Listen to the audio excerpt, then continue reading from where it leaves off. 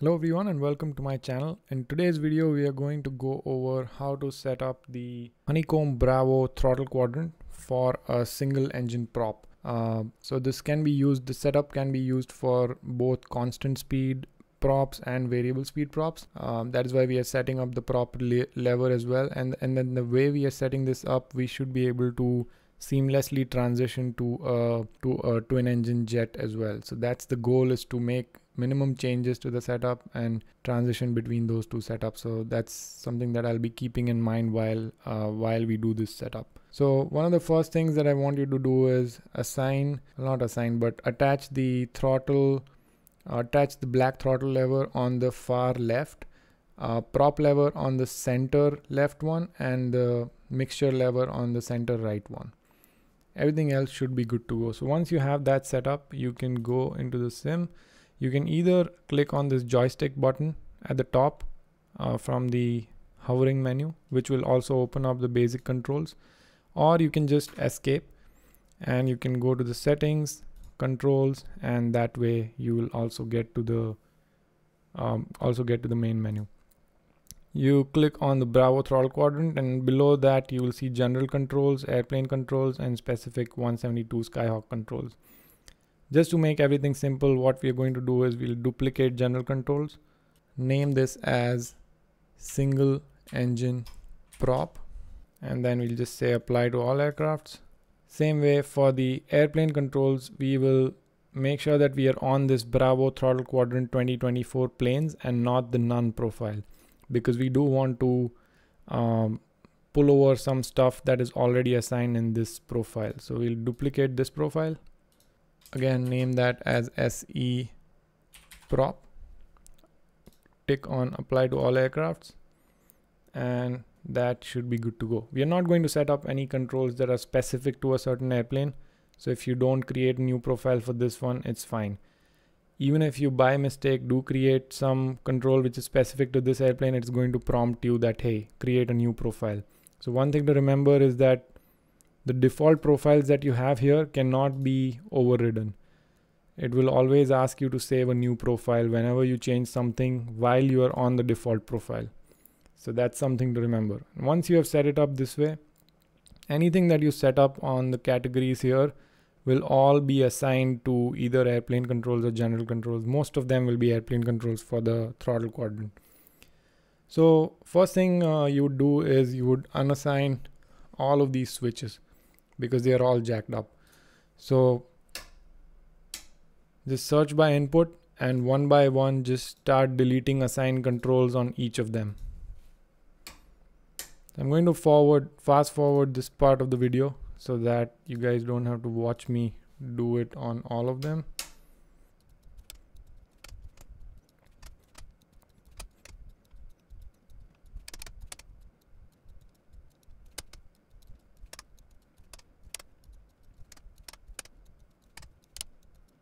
Okay, so that was the last of it. Uh, like you saw, you don't just need to unassign one side, you need to unassign both sides. So once you go from here to here, and then you change it, and then you search by the other other side input, and then unassign that one as well.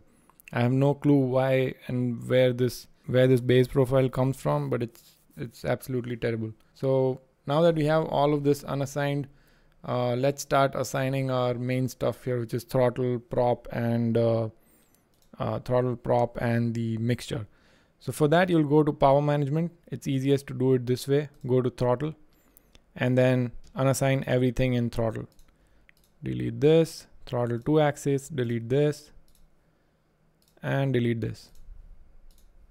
Okay so everything is empty now in throttle and what we are looking for here is throttle axis. That's all we are looking for. Throttle axis, assign it to this one. And then high chances that this axis might be inverted. So you go here and set inverted axis and then come back. Throttle is done. You go to prop again, just like throttle, delete everything here. I know it's a pain, but once you set it up, you'll be good to go on any prop, um, any single engine props. Okay, so the prop section is all clear now. And like you would guess, we would select propeller axis, nothing else but propeller axis.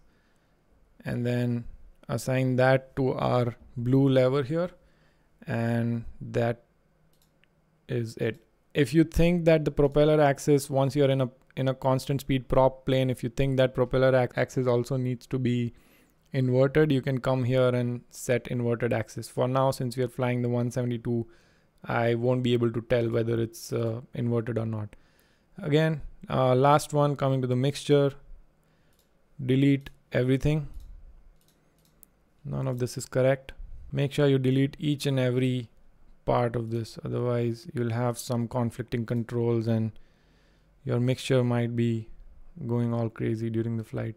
Um, here what you're looking for is mixture axis 0 to 100 move the red lever top to bottom. And then again high chances that it's inverted. So just check um, set inverted axis go back. And now that we have set that up we'll give that a quick check here in the airplane. So let's get in the airplane and hide the yoke. So mixture full mixture full lean. Throttle full throttle cut off.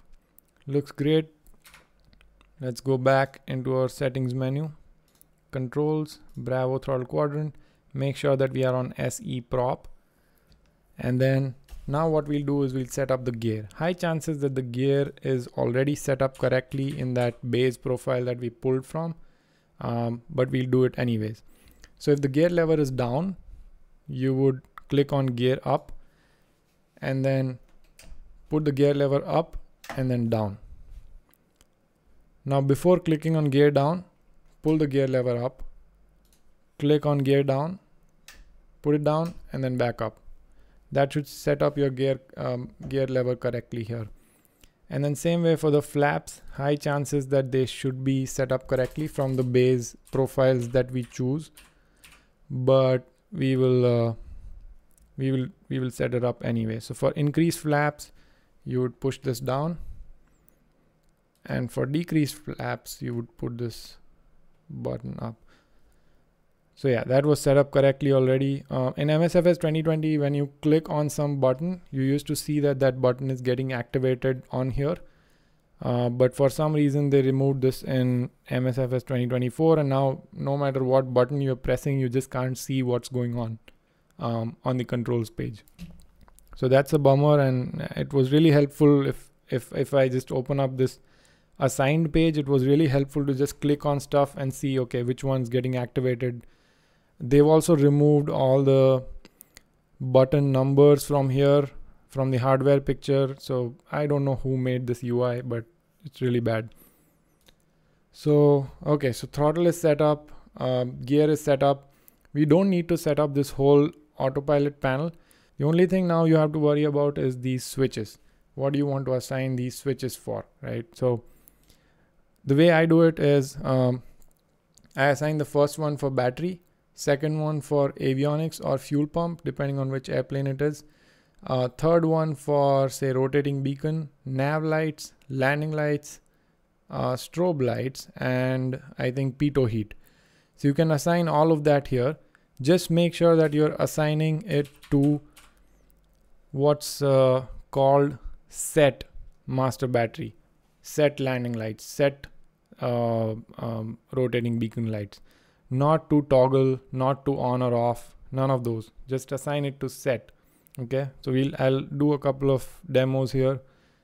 Uh, set master battery, we'll assign it to this one. And then the next one, I'll make that maybe avionics. So we'll assign that to set avionics master, the second switch. So click on it, click it back.